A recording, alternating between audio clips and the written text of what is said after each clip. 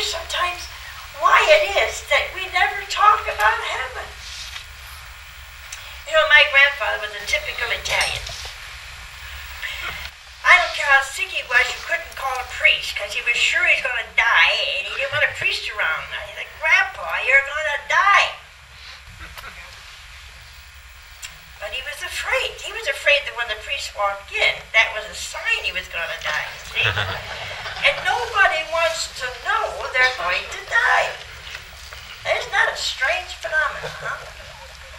You go to see people laid out in a horizontal position, see? And the first thing you say, now don't they look good?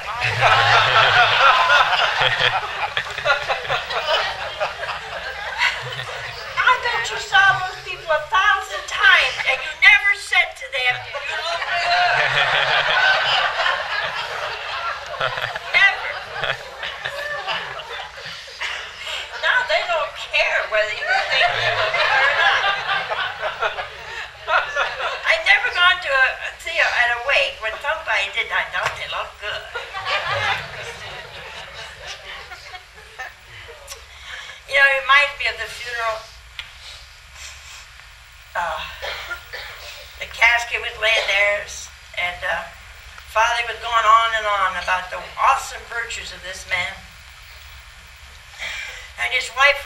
Over to her son and said, Sweetheart, go and see if that's your father.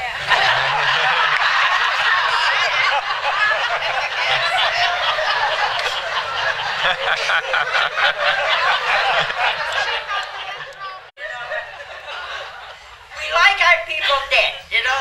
They, they, they look good. They're not going to bother us anymore. Pat them on the head. And that's our whole concept of death. That's it. That's why nobody, nobody thinks of it. And nobody thinks of what happens after it.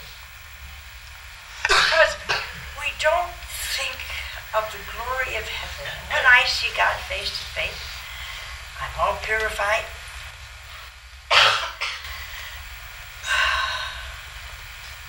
you know, you could be there a thousand years. Seem like a moment. Like a moment. You see, all the people you've known on earth, some you'll be surprised they're there. They're in that. I need more. I forgot it was here. Surprised that you are there.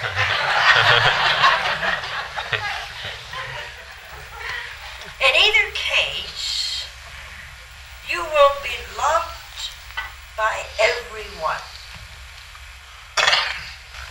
You can't say that here, can you? You may have, well, a lot of friends, but there's somebody bugs you to death. You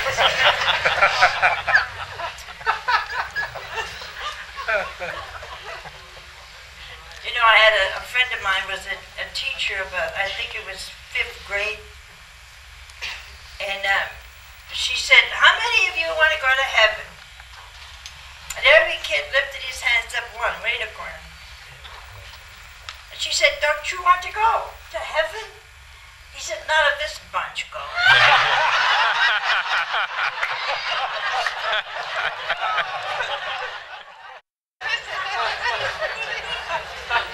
that, that's the attitude that we have, and that's why we're not too happy about going to heaven because, oh, she's gonna be there. or he's gonna be there. Well, that's all gonna be gone. You see, there, none of that will be there. No criticism, no heartache, no disappointment. In heaven, you will be learning something new about God every moment. God, God is awesome. Awesome. He, he's beyond our imagination. He's beyond anything our poor finite minds can even begin to, to think about. Today, this night, as I speak to you, the highest seraphim and the angelic choirs has just now learned something new about God they never knew before.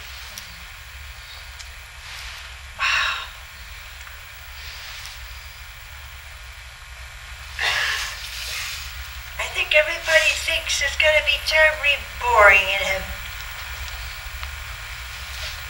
This is the place is boring, let me tell you. In heaven, you'll see your friends your loved ones. But they'll be so different. See, think that the glorified body is different, you know, because the two disciples going to Emmaus didn't recognize the Lord. One reason is they didn't believe he, he rose from the dead. Those two are a real pair. I mean, but those two were something that you, you know, you just can't hardly believe that they exist. These two and another one they didn't mention. People, uh, you know, kind of stick together. I think it was one of the disciples or Maybe it was somebody we, they didn't want anybody to know. and so, talked, Jesus himself came up and walked by their side, but they didn't recognize him. He said, What are you talking about? They stopped short. You know what I mean? They stopped right then there, stopped walking, looked at him downcast. and said, He must be the only person around here that doesn't know what happened. They said a little nicer than I I kind of pep up the scripture. and Jesus said, What things? About Jesus of Nazareth who proved he was a great prophet under their first mistake. They never did believe he was Messiah Lord. And he did great things in the sight of God and all the people. Our chief priests and leaders handed him over and had him crucified. Now, our own hope had been that he would set Israel free. That's all they wanted from Jesus. Forget heaven. Give it to me now. Ever heard anybody say that? Forget heaven. Give it to me now. You know, we all ask Jesus for something. Most of it isn't for our good. And so he says, Now, beside this, two whole days have gone since it all happened. Some women. Let me tell you, gals, you haven't been well thought of way back there. Some women scared us, astounded us, and said they went to the tomb and they didn't find the body. And wouldn't you think a real man would have looked around for the body? Huh? No, they went out of town. Can you imagine these disciples leaving town? I don't know what they felt. What they think? Nobody thought, where is the body? Were they afraid he had risen? And if he had risen, why didn't you deliver Israel? You and I do the same thing in our daily life. God doesn't come up to our expectations and he does not give us what we want. And so we change our entire opinion about God. I'm not asking you for anything anymore. We, well, would you let's see these two men. It gets worse as we go along. and when they did not find the body, they came back and told us they had a vision of angels declared he was alive. Can you imagine these two going out of town? Huh? I, I can't imagine. I, the first thing I do when I get to heaven is I want to go after these two disciples.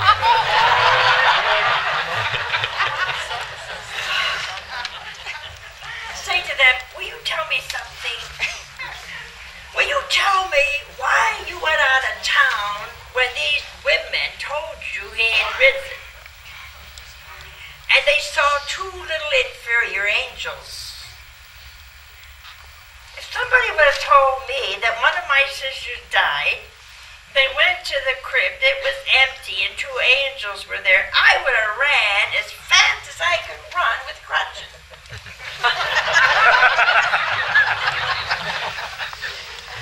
Wouldn't you? See, these men, let's go out of town. It's too much for me.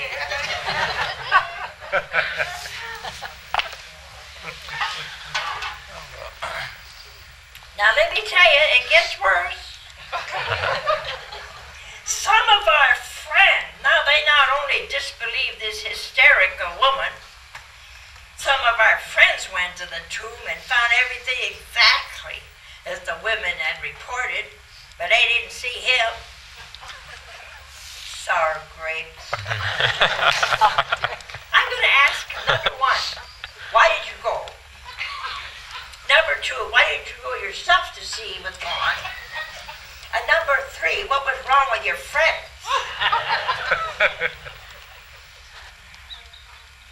I know I won't because I won't care up there, you know.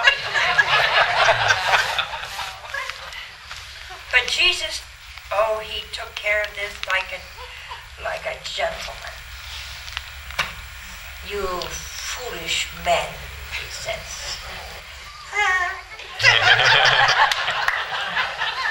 Even God was impatient with these men. So slow to believe the full message of the prophets. Was it not ordained that the Christ should suffer and enter in his glory? And poor with no. See, I would have, oh, thank God, I thank God, I would have not had the patience. I'd have picked them both up by the top of their head, and I would have gone like this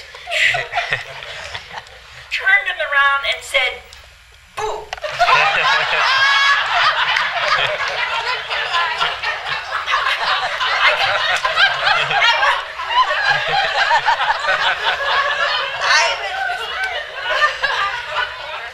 I couldn't take that, you know. I mean, the Lord has so much patience. So, I'm glad he called him foolish men anyway. I got that. That made me feel better. now, when they neared the village, this is kind of cute. When they neared the village, uh, he did this twice before. He made as if to go on. Isn't that cute? Huh? He, he pretended that he was going to go on. He did that at the boat. You know, the apostles were in this boat and there was a big storm and the boat was sinking and he came towards them and instead of going here, he, he went this way. He said, Master, save him. He made as if to go on. And they pressed him to stay with them. That's what he wanted. Can you imagine Jesus, Son of the Most High God, been maltreated, crucified, died, buried, rose from the dead. Wanted them to beg him to stay. Isn't that awesome? You know, sometimes when you try to pray and you can't. You ever have that problem? Okay. And you know what the Lord's doing to you? Just what he did to these. He pretends to go away. Just so you'll say, Lord, stay with me. Come to me. I miss you. I want you. I love you. That's all you want. It's hard for us to imagine that the most holy God really does want my love. He wants your love. It's hard for us to grasp that awesome truth that he would pretend to go away. So he said, Lord, come back. Don't leave me. He wants to hear you say that. Because he wants your love. Well, the most impressive thing about this account, and it's in Luke, 24th chapter, when they went in and they broke bread, that's when they knew him. They didn't know his physical presence, but they knew him in the Eucharist. Isn't that awesome? Do you know Jesus